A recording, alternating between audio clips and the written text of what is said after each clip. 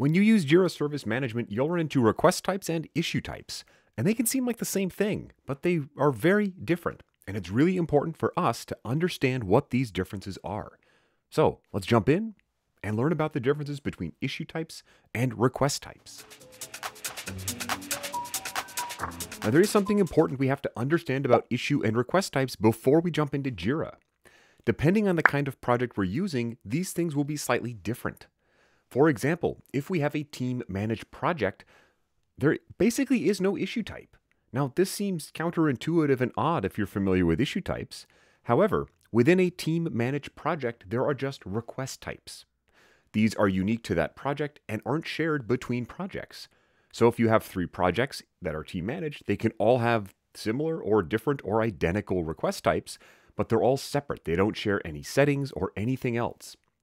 Now, if you are in a company managed project, you will have request types within the project that all link to a single issue type.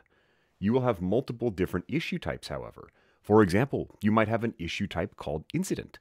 And here, an issue type represents a broader category of things. It's more like the type of work rather than specifically what the customer needs.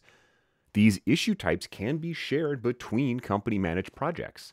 This allows you to more easily manage settings at scale for example, you may have different service management projects that support different regions in the world. They can all benefit from having the same setup for issue types, however. They all might have problems and incidents and other things. But within each of those specific projects, you may have different request types that are displayed to the customer. Now, regardless of the type of project, the request type is what the customer will interact with. It is what they're going to see when they go to the portal and add information. It's where they put things into fields, and it's what the agents can see on the back end to interact with.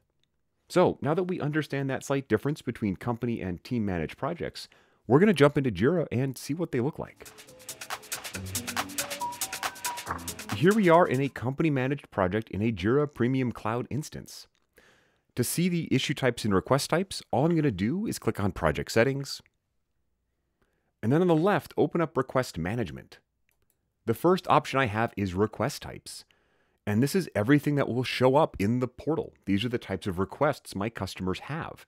They might need general help from IT, or maybe they need help with their account, or changing a Wi Fi password, or whatever else it could be. Now, I can instantly see the issue type that each of these single request types is connected to. Account help, for example, has an underlying issue type of general request, and this means it will share similar settings it will share things like workflows and fields and other information with any other request type that uses that particular issue type. In this example, I also have emailed request, which shares the same issue type, so I can expect the same workflow, the same fields, the same types of rules. However, I have a third request type called get IT help that uses a different issue type. And this means that the workflow could differ. It's possible they use the same one, but it could also be different. It could also allow different fields or other settings that my company admin has set up for me. Now, this screen also shows me the workflow, so I can instantly see which tickets follow the uh, same exact workflow. And again, in this example, Get IT Help has a different workflow than Account Help and Emailed Help. Now, request types can also be grouped visually. This menu shows me portal groupings, and we'll take a look at the portal in just a minute to see these, but here I can group my request types to make it easier for my customers to interact with them. So if I quickly open up my portal, I can see these two request types. Now they're not grouped, but back in my settings, I can click on Actions and edit the portal group that these belong to. I might have one here called Account Help. I'll remove it from General and click Save. And now when I take a look at my portal, I can see different groupings. This is a very simple example with only one request type in each group. However, this can help someone figure out where they need to go to get assistance. They need help on their account, they open this up, and they'll see a list of all the request types that will help them. Now, you might have permissions to create a new request type.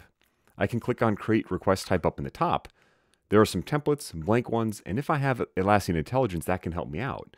But here, if I make a blank one, I'll walk through a wizard to help me set up my new request type. I might give it a name. I'll call it email account help. Getting help with my email. And here I can assign it directly to a group. And this is where I can also determine which issue type it connects to. Every request type is connected to one and only one issue type. However, each issue type can have one or many request types associated to it. Next, I'll just click Add. And here I have a new request type. Now, a big difference between company and team managed projects is unless I'm also a Jira admin, I cannot make new fields. All I'll be able to do is drag and drop existing fields onto this request type. And this is a very good thing. We don't want just anyone making new fields, it will quickly get cluttered. However, it can be challenging for teams to build out the request types they need because they don't have that access. And that's where a team managed project can be beneficial.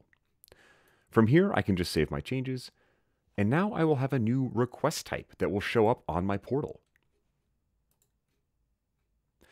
I can see email account help, and if I open it up, it will include whatever settings I've added to this request type. So now I'm going to jump into a team managed project. Open up that project settings and go to request types. And we'll notice right away that there's something different about the menu. It just opens up and shows me three different request types. Now, if you recall from the start, request types in team managed projects aren't connected to an issue type. Again, this feels counterintuitive. However, this makes sense when you think that a team managed project is entirely separate from every other project. I have one here called email request that has some fields on it. It's possible there's another project with this exact same thing, but they aren't connected. They don't share that workflow or anything else. The advantage I have here is as a project admin, I can create new fields over here on the right. So if I need to add a new date field or paragraph, I can just do it independent of every other project. This lets smaller teams spin up more quickly and control things on their own without having to go through a Jira admin. The other major advantage is I have the ability to edit the underlying workflow that this request type uses. Any changes I make here will not impact other re request types. If I were to do this in a company managed project, I would have to manage and edit the workflow, and it's possible I would impact other issue types that happen to use the same workflow. And this is the advantage of a company managed project. I can manage across my organization. However, it can also make it frustrating and challenging for teams who want to move more quickly because they might not be able to do this. And if they do this, they might accidentally negatively impact someone else. So, those are the major differences between request types and issue types. Issue types are in company managed projects and can span projects. They contain the settings, the workflow, the fields, the screens that can be reused across the system, and any issue type can have one or many request types. Request types, on the other hand, are the things that customers interact with directly, and they contain the fields and information, and in a team managed project, they don't connect to an issue type. I found this to be really challenging, so please review this, but also jump into Jira and play around yourself if you can. See if you can find the issue type for something you create or find a request type. If you like this, please like and subscribe. It lets me know what you're interested in. And drop a comment down below. I'm curious what you find most confusing about issue and request types. Thank you so much for learning with me, and I'm really looking forward to seeing you here again soon. Me again, thank you so much for watching that video. Check out more here, and pop down into the description. I've got a blog with weekly content. I also have a lot of online learning on Atlassian stuff and project management. And if you need personalized training for you and your team, reach out and let me know. I'll be happy to get something set up for you. Thanks again for watching, and I'm looking forward to seeing you here again soon.